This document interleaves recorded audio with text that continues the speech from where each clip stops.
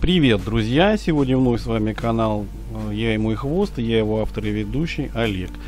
А, периодически бывает такое, что наши животные, наши домашние собаки болеют. И по назначению врача им прописывают э, лекарства в виде таблеток, которые нужно давать перорально, то есть через рот.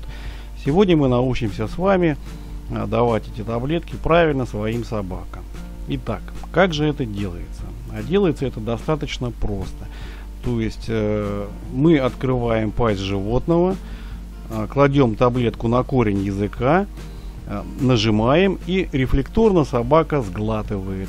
То есть в этом нет ничего страшного. Можно, конечно, подмешать как бы и в корм, э, в виде порошка дать, э, с носа может слезать собака, но если там показание такое, что на голодный желудок дается таблетка, то делается это именно таким образом.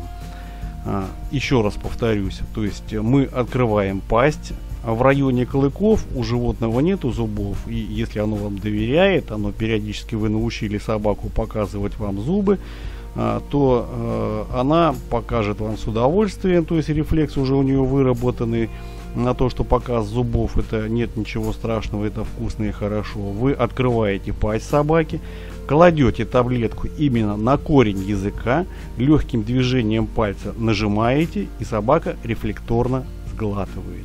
Итак, с вами был канал «Я и мой хвост», я его автор и ведущий Олег.